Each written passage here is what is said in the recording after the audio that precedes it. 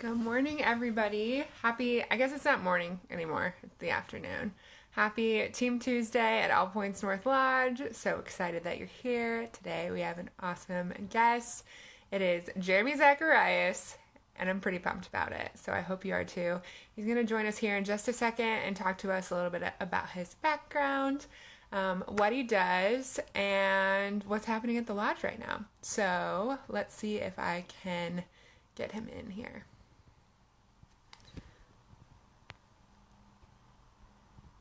Jeremy. Waiting for you. Hey, Hey. happened? Not much. This is my like fifth time, fourth time doing a live, and I Wow. still get immensely nervous every time. Um, my normal day to day, I'm on Zoom calls and leading meetings all day. It's something about the live really gets me, but Are you just worried here. about uh, are you just worried about like all the people who are like No, because like I've spoken in front of, I don't know, let's a hundred people before, right? Not phased. It's something about the live. I don't know. wow, Okay. I'm also not like a social media guy. Sure. I, I've posted an, an entirety of three times, I think. So maybe that's it. I don't know.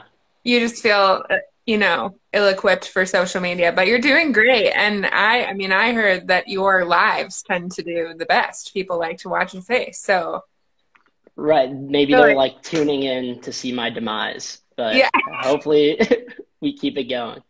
it should I think it's a boost of confidence for you. I would like to pass on that boost of confidence, but um it looks like you're in the office right now. I am in the office, which is nice because I think my other lives, I did one from my parents' house in Chicago. I think I did two from my 300 square foot Santa Monica apartment. And so it's nice to be back in the office in Malibu, Mhm. even though I'm the only one in today. It's a, a little bit sad because, as you know, right, there's normally a dozen people here and we're Right. all having fun, doing work, getting things done, and it's it's not the same when I'm the only one here. Right, so you miss us is what you're saying. I do miss you guys. Yeah, I Mhm. do. Because Yeah. even though I still talk to everybody on the phone just about every day, let's say, but it, it's not, you know, it's not the same. It's not the same. No. Yeah. Um, okay, it looks like you've been taking vigorous notes behind you there, so that's that's great. Yeah, you know, we don't stop.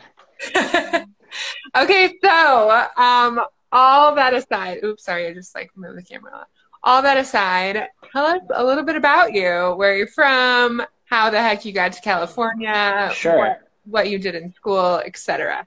Sure. So I'm from Chicago or the suburbs of Chicago.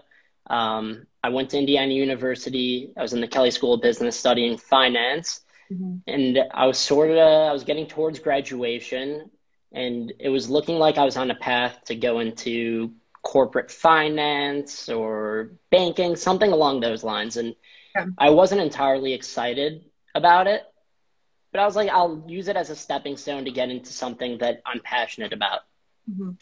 Little did I know, I end up crossing paths with Noah, our CEO, and he talked to me about some of the stuff he had going on here and uh, with APN Lodge. And at the time, it was more or less an idea. I think we had bought the property in Edwards, but outside of that, there wasn't much to it. But I have a background in uh, treatment just through my family. Uh, I've had a father that went to treatment. I've had loved ones that go to treatment. And so it's something that I've been passionate about and have sort of been surrounded by my entire life. And so I was like, you know what? This sounds cool. Maybe somewhere down the line, I'll do what he's doing. Like, Right. that sounds so cool. And he hit me up probably a month later. He was a one man show at the time. It was like, I have so much work. This is a lot. Would you mind just going over some presentations for me? Uh, and he was actually presenting in Chicago about APN Lodge and the, and the work he was going to be doing there. And so I went to this presentation and saw how passionate he was for what we're doing now. And I just thought it was like the most incredible thing. Like I, I that was like the person that I wanted to work for, right? Like that was my goal always was like, I want to work with someone who's really passionate about what they do. Mm-hmm. I was like, this is perfect. And so I left that thing and I was like, I have to find a way because like I was doing side work for him, but it wasn't exactly turning into this full time thing yet. I was like, I have to find a way to get into this company.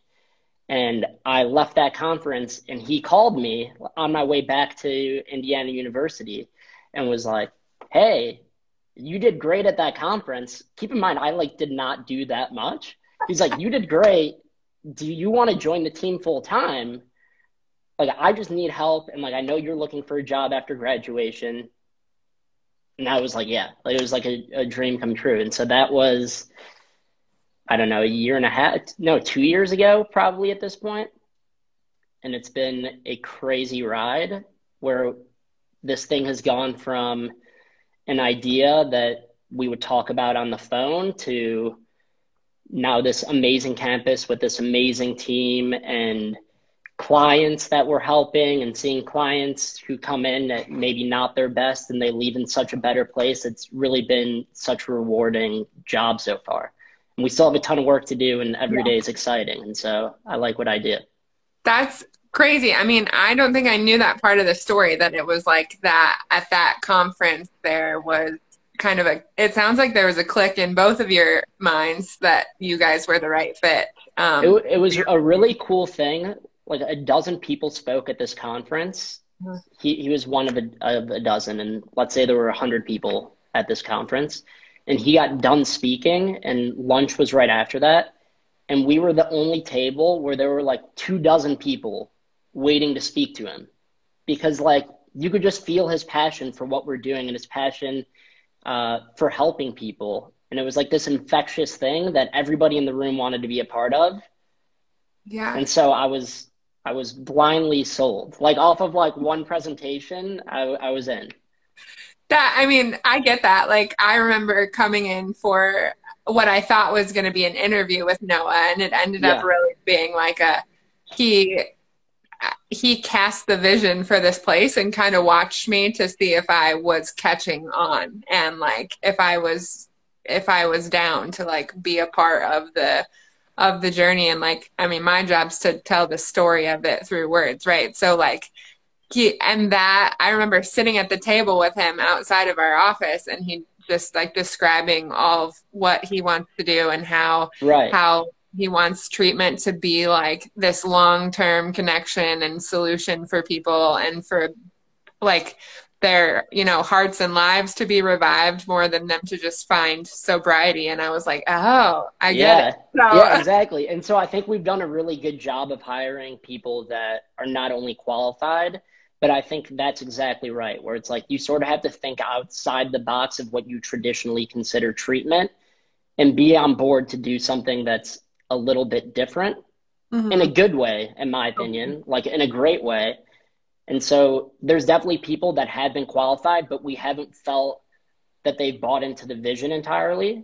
Mm-hmm. And those are people that don't work for us. Like I think we've done a great job of finding that that crossover yeah. we have like this amazing team for the most part. I think everybody's on the same page and like we're really providing clients with this amazing experience right now from what I've heard.